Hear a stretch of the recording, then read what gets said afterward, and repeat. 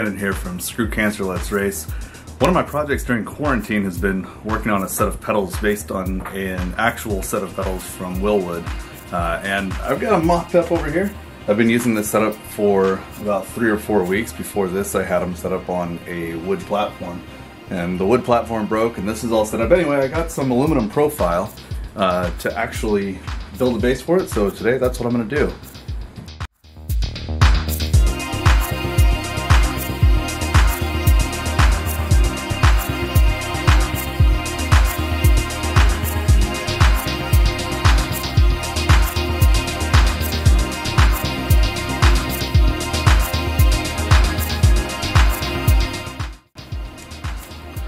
So much for any continuity in the filming process here. Uh, obviously, I'm very new at this. Um, so, Brandon here from Screw Cancer Let's Race. We're back working on this pedal set again. Uh, it's a homemade hydraulic pedal set uh, made out of a set of Wilwood pedals and some uh, uh, hydraulic master cylinders, hydraulic slave cylinders, some rubber bushings to compress everything. Uh, when I was working on this earlier in the video that you'll see, I was you know, building the frame and everything for it, and I ran out of nuts. I didn't actually run out, but the ones that I ordered uh, were wrong. I ordered ones for 30 series instead of 40 series aluminum like an idiot. So I got a new box here, a package of stuff, and hopefully the right things are in it.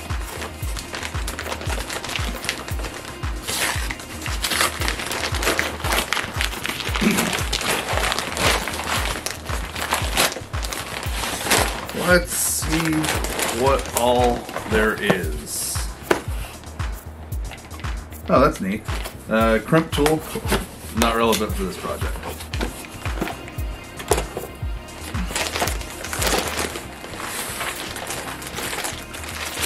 A um, Ford Motorcraft thermostat. Uh, this is for my truck. We'll do that on Saturday.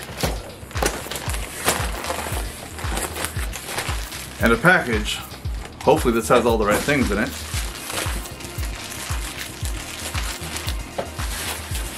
Maybe they'll leak. Oh, no. Of course the package leaks everywhere. This is what I was hoping for, I think. Uh, some 40 series. Focus, focus, focus, focus. There it is. 40 series uh, spring ball roll in T-nuts. So, uh, I'm going to get back to work here and finish up putting the support structure for this back together and come back for a recap.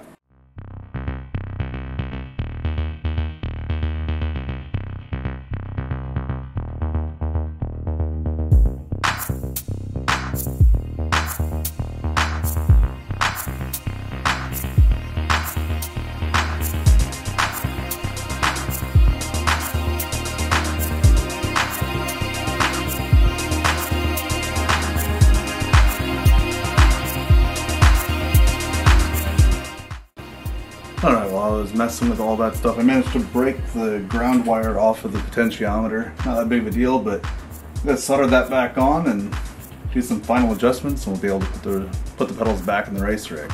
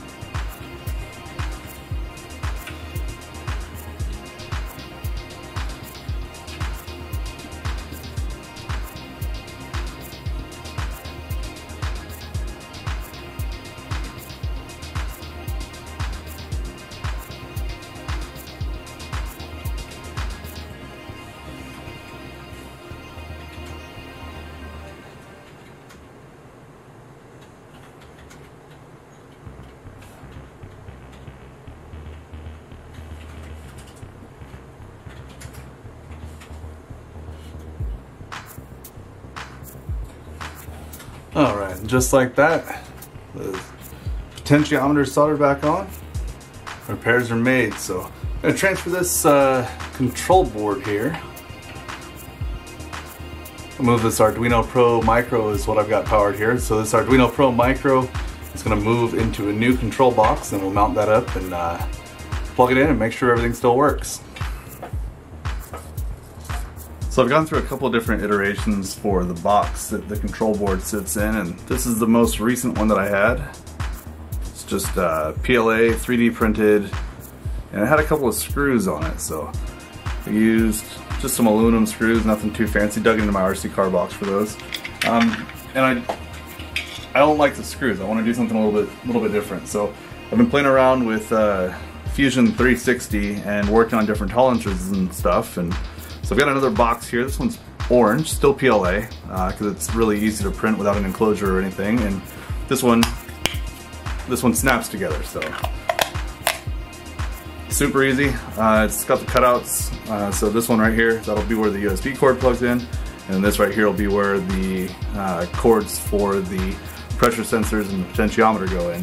Um, anyway, we're gonna mount this up and see how it goes. And I want to put it right here. I can hard mount everything. Maybe I'll put it right here as the tail goes down uh, and all the cords are to the back, but I'm gonna tuck it away nice and neat so it's just one less thing in the way. Uh, this other one, the, the blue box here, it didn't have anything to hold it in, so it kind of just floated. So this will be a nice upgrade and maybe, just maybe, I'll, uh, I'll finally have landed on a design that I like.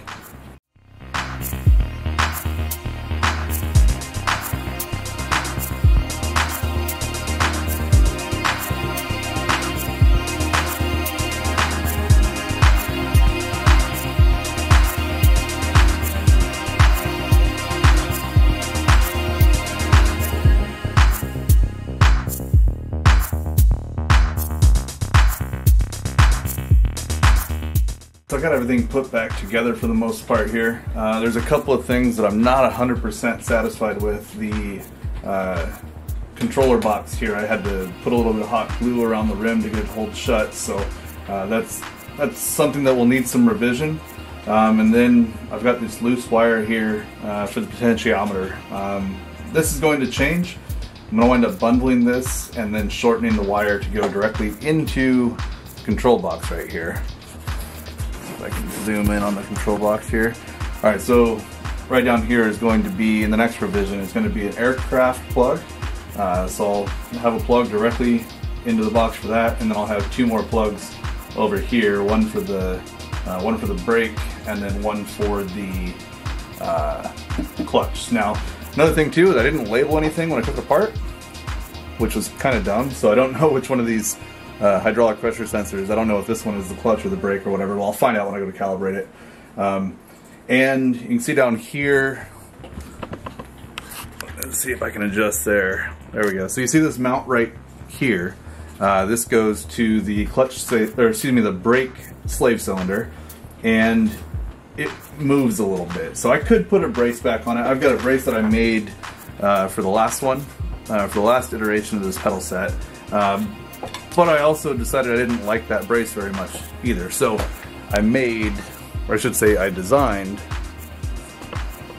a better mount. So I haven't printed the mount yet, but I'm going to, and that'll go into it in the next update, uh, as well as probably a new throttle assembly as I'm trying to trying to improve that a little bit, get a little bit more uh, travel out of the potentiometer.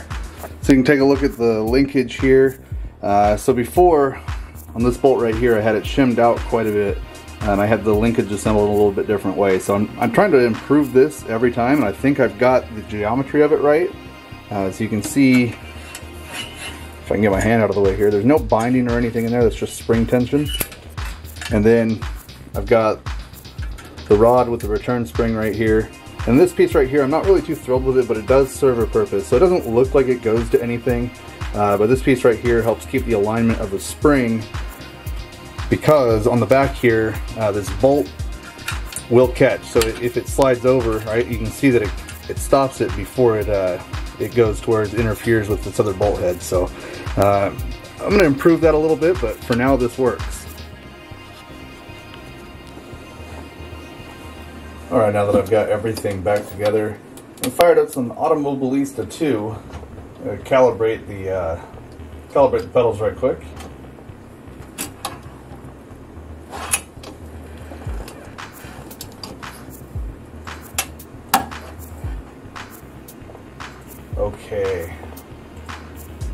Good to go as far as controls. So I'm going to run a little bit of DTM here at Brands Hatch.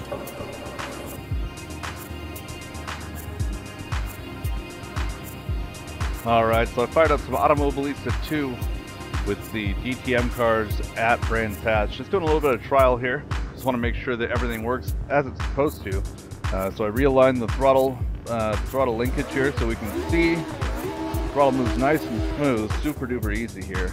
Uh, brakes are unchanged, they shouldn't have any difference right there, same with the clutch, but uh, one thing that I did notice is the bracing, so you can see the bracing right over here, that bracing is a little bit more flexible than I'd like. Uh, so I gotta figure out a solution to that, maybe add a, uh, add a couple of pieces of steel to support it. Um, we'll figure it out. Not anything to worry about right now. It still works fine. Still get 100% travel out of the throttle. But anyway, we're to do one lap at Brands Hatch in the DTM car just to verify everything works as it's supposed to. Make sure nothing's plugged in incorrectly. Make sure everything is 100%.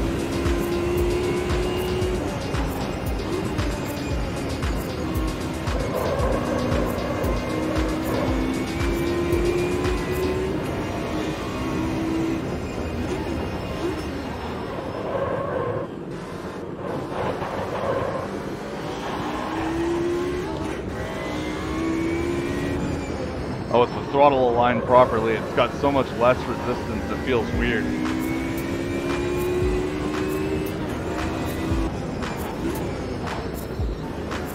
Not bad, it's just different. Kind of very free.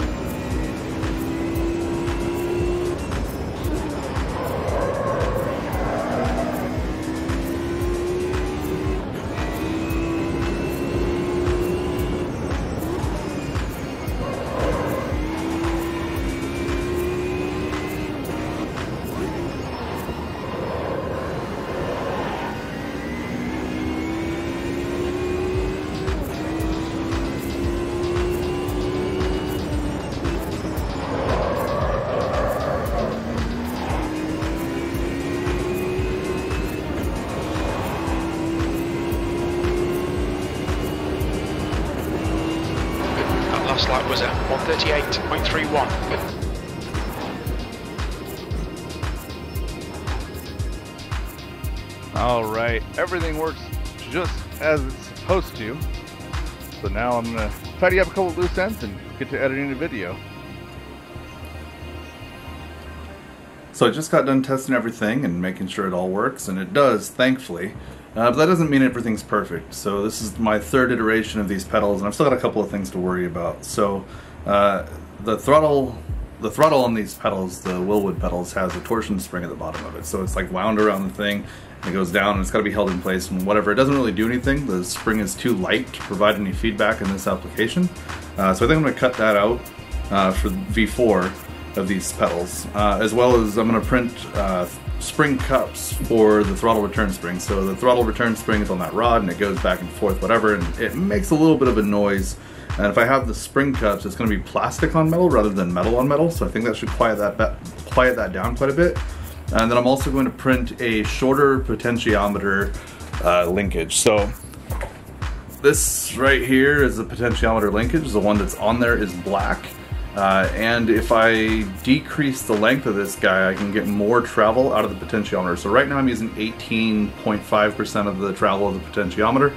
I'd like to be closer to 40 or 50% if I can, uh, just to get as many pickup points as possible. At this point, like the pedals are definitely usable, and they don't necessarily hinder me, but it would be really, really nice if I had more pickup points, if at all possible. So uh, other than that, I've got the slave cylinder clutch, uh, the slave cylinder for the clutch, and then the clutch and brake slave cylinder mounts that I need to print. So that's about it for now. Um, we'll have another update when I get done with version 4 of the pedals, which should hopefully happen within the next month or so.